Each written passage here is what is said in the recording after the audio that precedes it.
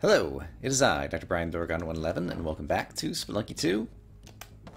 I was replaying The Seed, and my hired hand died, so I could only carry one thing forward.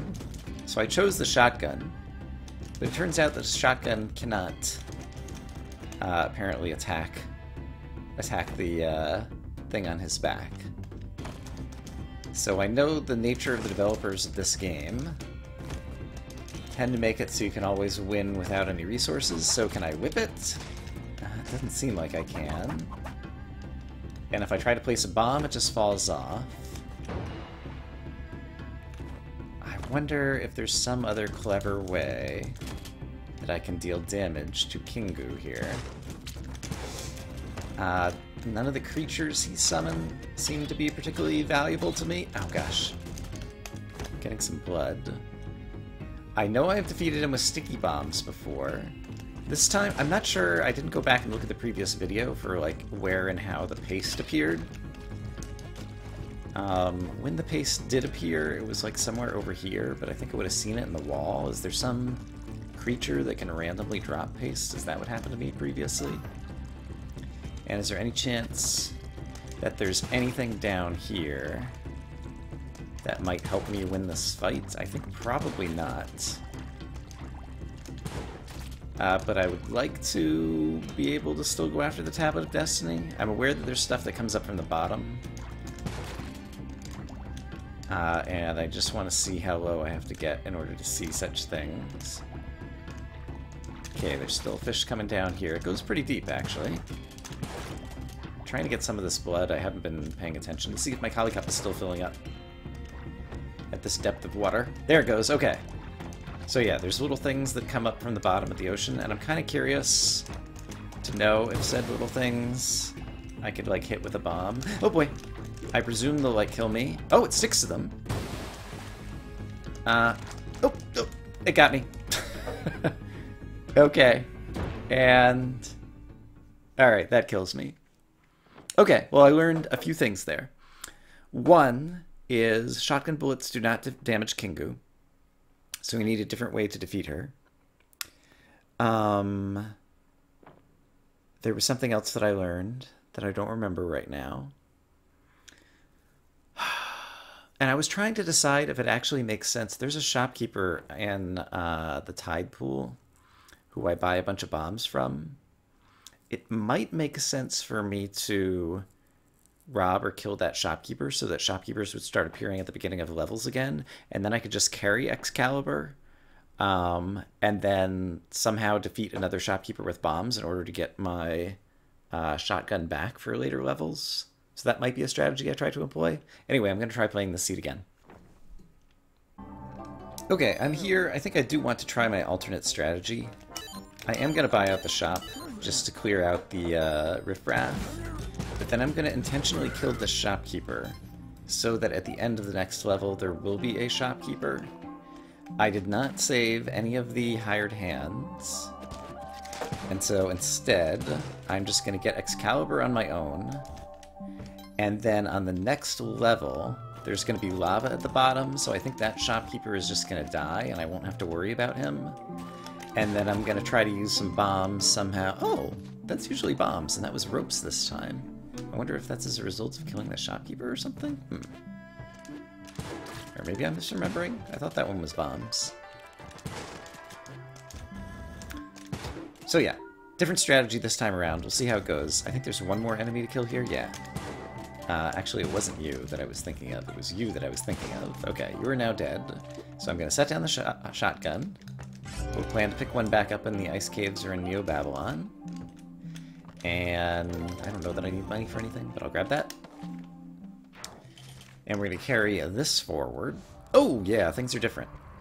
Um, I imagine that that will work against you, and it did, so that's good. But he is not usually there. I am still going to use my preferred route through the level, which means I'm going to set this down and this down. I guess uh, I don't really need the torch because I know where I'm going. There is a different enemy set here, but I still have my spiky boots that I can use on you. And I guess I'll save you for sacrificing after I've used the Ankh. Oh gosh, you're scary. Alright, well you're dead, so it doesn't matter. Yeah, I don't like the fact that there's a different enemy set now as a result of robbing the shop and killing the shopkeeper, I guess. Or maybe there was something else that I did slightly differently on this run. Oh, and there weren't bombs here. Like, usually some bombs generate right there. Hi, Parsley. So yeah, I've changed the generation. That could be bad. Uh, I guess we'll find out. Oh yeah, look at this crazy thing. Alright. Um, ideally I want my cup... It is most of the way full. I was gonna say mostly full of blood before I die. So now is as good as time as I need to die. So let's do one of these.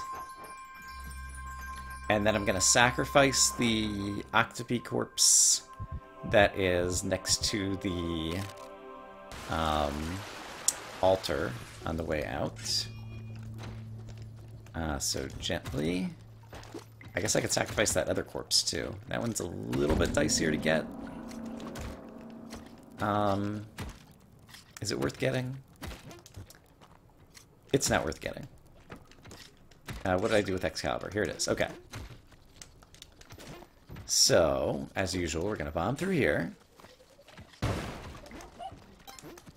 And then, oops, it is possible for me to rescue Damsel Doggy at the end of this. Um, that's, that assassin I would prefer to be somewhere else. Usually he's jumped on the spikes by now. Can I get him to jump on the spikes if I jump right here? Yeah, right here he should jump on the spikes. No, he went on the ceiling. Jump on the spikes. There we go. Okay, great. Um, okay, so I can get the damsel to the exit and then bring my Excalibur to the exit. And I do want to whip the damsel, because that'll get me up to five hearts, and it just did. And whip the damsel a second time, because we need to start accumulating blood here, now that we have been reborn once in this run. Okay, and jetpack can get damsel there. And this time, I'll go in with the weapon that I need to defeat Kingu. Alright. And so I need to kill enemies at the start. This one still scares me, so I still do that. There's one... Oh! Okay, that didn't happen the way I was expecting, but I suppose it's okay. I'll be able to jump on your head in just a moment. Which I think is the safest way, and it's also going to get me some blood. Then I need to get my Excalibur back in hand. There we go. Might as well grab these ropes. Because why not? Alright, but let's start dealing with various enemies. I see, you have an explosive, and maybe you had the paste randomly as a drop? How do I want to kill you from a distance? I'm not sure yet. I'm to wait for you to turn around. There we go. Then I can kill this one. Yeah, you're gonna need a bomb. So we're gonna do that. Oh, wait! Okay, I avoided getting poisoned. That's the important thing. I need a corpse to throw, or a boomerang to throw. Yeah, boomerang's actually pretty good. I can attack you from range. Wake up! Doesn't want to wake up yet. There you go. Alright, you're awake. You're out of the box. You're dead. Great. Uh, boomerang could also be a good weapon against you. Uh, we'll set it down here in case we need it for some reason. Damsel Doggy, once again, we do need to whip Damsel Doggy twice. It was very naughty of Damsel Doggy to be in this hidden secret level. Hard to find. Alright, Damsel Doggy's learned his lesson. And now, wait for you to blow your bubbles, and then kill you like that. Okay, so we've collected some blood, we're up to six hearts, and now I can go grab my Excalibur once again. Did not manage to get the paste, unless it fell into the bottom of the ocean. But then I guess it's gone forever. Because we've seen what happens at the bottom of the ocean. Okay, and then we need to locate Kingu, who's up here somewhere there. So I'm gonna place a rope, and then I think a second rope is usually a good idea. I should have placed it higher. And then we're gonna wail on the button. Because Spelunky is a button mashing game, apparently. Alright, that was not bad. And we're just gonna verify Gold and Vortex. Okay, so that hasn't changed, despite some of the other terrain generation changing slightly. Okay, so now I'm wielding Excalibur. It can chop enemies to bits, but I don't think those bits contain any blood, because I don't think my blood goes up with that. Uh, there were some chests on the back side And since I have some ropes up here and a platform here, I can probably get to them. Uh, there was something... Oh, crap. Ah, darn it. I lost some health there. That was foolish. Um, I think there... Well, again, I don't know if the terrain is slightly changed. There was a crate somewhere on the right-hand side, I think. I don't remember. I think it might have been bombs, and bombs are always good. There's lots of these little clamshell thingies that are holding rubies on the backside. Yeah, it was right here. Okay. And it is still bombs. Okay, so that hadn't changed. And that was the only crate on the backside, so I'm going to assume that has that has not changed from prior runs. And then we're going to gently use the jetpack to not take fall damage. There was a big bomb inside this? Wow, okay, and there was a big bomb inside it again. Interesting. Um, inside that once that surprised me. Oh, and there is a dangerous snake who I'm not going to get near. We're just going to go to the exit. Okay, three hearts but a full cup of blood, and so we'll get back up to four hearts shortly. Actually, we'll get back up to four hearts right there from the damsel. Hooray. Okay, so let's try to get some blood. Blood, blood, thanks for the blood. Uh, I'd like some more blood. Thank you. Thanks for the blood.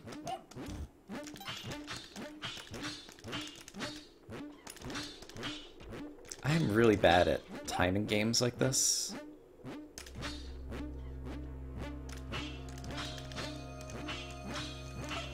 Is it just not possible to hit him there? Can I hit him in the air? There we go. um, for now, we're running with Excalibur. Right, I angered a shopkeeper. Right, right, right, right, right. I angered a shopkeeper, which means there'll be a shopkeeper at the exits, but he'll probably uh, be jumping out of the world, I imagine. Okay, I'm to use tiny amounts of jetpack fuel to get down here somewhat safely.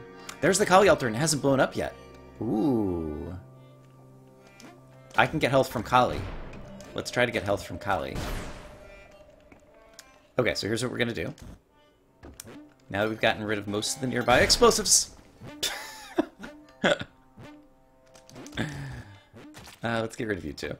I'm going to set Excalibur down over here. How much time do I have? I still have a bit of time and sacrifice this. And are there any other live corpses nearby? Uh, it doesn't look like it. Alright, so we got a little bit of favor from Kali there, maybe. But I think that's as much as we're gonna get. Yeah, and I'm just trying to lure the UFOs to the right so I can swirl around to the left over here. Try to safely get to the exit. There is a shopkeeper still. I presume he is just going to jump into the abyss and our shotgun will be gone. Yes. Alright. These things happen. I still have an Excalibur. There will be, presumably, another shopkeeper unless I get forgiven again. I think there'll be another shopkeeper at this level. I don't feel forgiven. Okay, so that's actually a good thing. Um, that might blow up the UFO. It did not. So I'm going to throw another one. And this should get the Lamassu now? No, it didn't get the Lamassu. And it didn't get the UFO either, but I do have an extremely powerful weapon and spike boots. So I think I can probably do that, yeah. Great. And then this UFO... I'm not super comfortable hitting you with Excalibur, but it does allow me to do that and get some blood. Okay. I see various threats. I'm going to drop Excalibur so that the shooty gun right below me goes off. Excalibur, please don't get crushed. I would really like to continue to own you. Oh, did it recharge? Alright, that does work. Okay. I can stand here and then go here. Damsel Doggy, you're in a precarious spot, so you just kind of hang tight and we'll see you on another level. Right, right, right, right, right. I forgot about the shopkeeper. Okay, just remember the shopkeeper. Let's do that. That did not help. It might have helped a little bit. I probably have a clearer shot at the shopkeeper now. Alright, so we're gonna try that again. We got plenty of bombs. Oh, gosh! Still didn't kill or anger the shopkeeper. Um, is there another way that I could go at him? It's a very thick wall above him. If he were to get angry, he'll probably die to like some traps or different things around here. So let's maybe just anger the shopkeeper. Oh, he took some damage already. Uh, we might be in business. I don't think he's dead, but I don't see where he is, and I'm scared to look over there. he might be in this kind of like stunned phase where... Let's gently come over. Okay, he's a little lost. I think we can just race him to the exit. Yep, and he actually got hit by the thingy again. Okay, so I managed to get a shotgun using my plan, which was to get angry shopkeepers at the end of the level. So that's pretty great.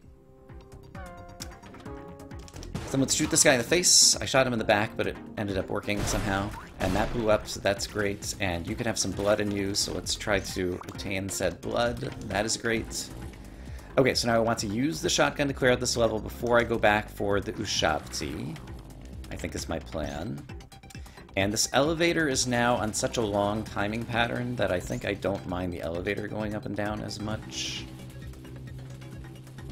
Yeah, because I could just sneak under... Well, hmm, I was to say I could sneak underneath it. I still don't love it. Let's see if this kills it. It did not. Uh, we're just to sneak underneath it. Okay. Skeleton's not coming to life, but let's just make sure he never does. And there's... Oh, boy, I forgot about you, though. I was not forgiven yet. Alright, but it sounds like he might have just taken damage. He's not dead. Is he dead yet? He's still not dead. Now he might be dead? I think I heard coins drop. So I think he is dead. Here's some ropes for me. There's already a shotgun at the exit. I think the shopkeeper is dead. Might be able to verify that right here. Yeah, I see a coin. Alright, I didn't see his corpse, but that's okay. We do not require proof of corpse. Oh boy, uh, stay away from spiciness. If I'm careful, I could ride this elevator up, and it's actually possible to be careful by pressing against the right wall. I'll be sure to be kind of like in the center of the thing. Yeah. So I can ride this up to here. And now this is where I go get my Ushabti. Which is right down here. This guy. Alright, Qilin. This is gonna be the run. I hope.